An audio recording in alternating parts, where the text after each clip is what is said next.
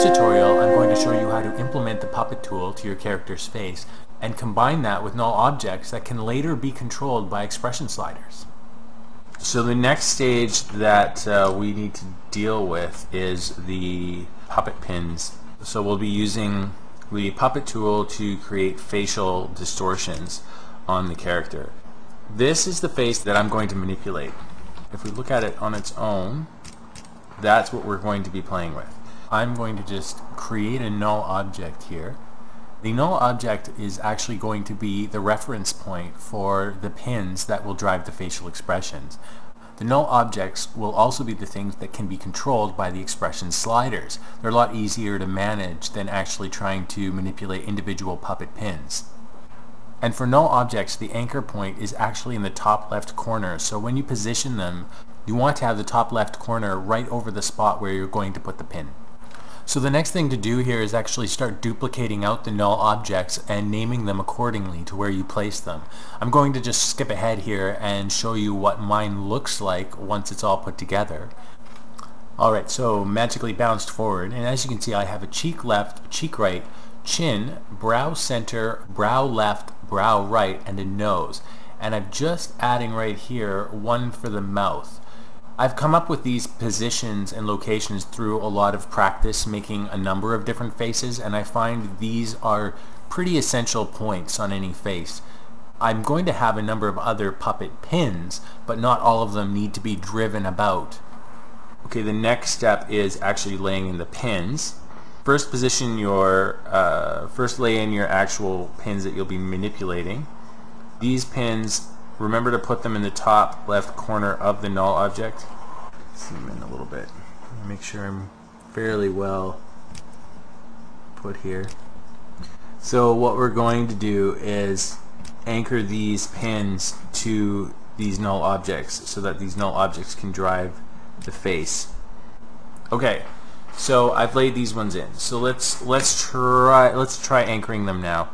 Um, I have a little piece of code that I have built for this. Um, it's in my effects control or my presets. Um, I'm just gonna pull it up. Um, I'm just gonna take any object and, and stick it on there.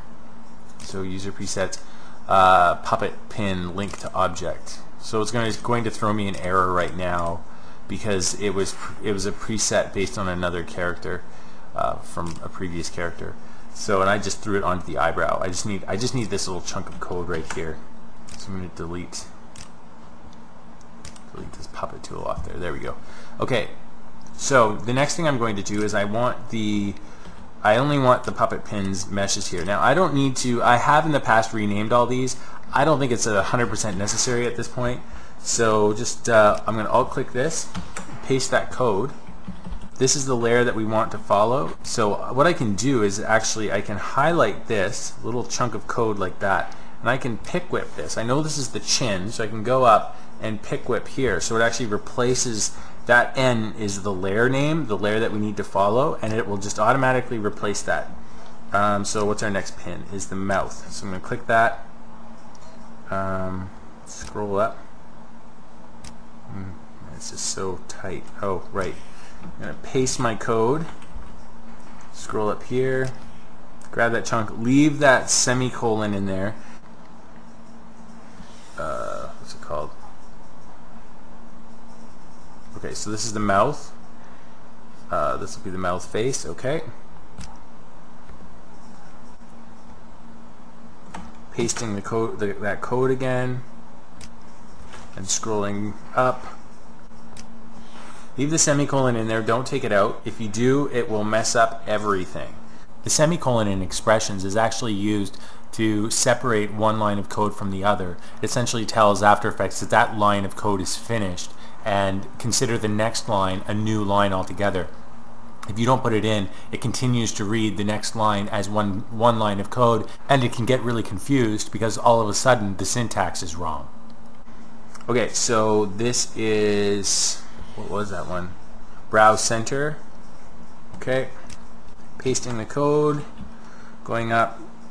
Now I can't exactly see what my pins are, but I can guess based on the face. That's cheek right. There we go. I'm just going to finish these up really quick and show you what it looks like. So now, when I move these null objects, I'm first going to lock this guy so I can grab these. There we go. Now it follows along. Now, as you can see, we have a bit of a problem. The whole face is moving. I just, I don't want the whole face to move. I just want parts of the face to move. Um, this part moves okay, but again, we have this, it's just not moving quite right.